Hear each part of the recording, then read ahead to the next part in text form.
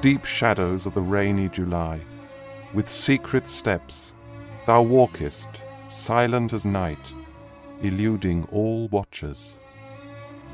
Today the morning has closed its eyes, heedless of the insistent calls of the loud east wind, and a thick veil has been drawn over the ever wakeful blue sky. The woodlands have hushed their songs, and doors are all shut at every house. Thou art the solitary wayfarer in this deserted street. O my only friend, my best beloved, the gates are open in my house. Do not pass by like a dream.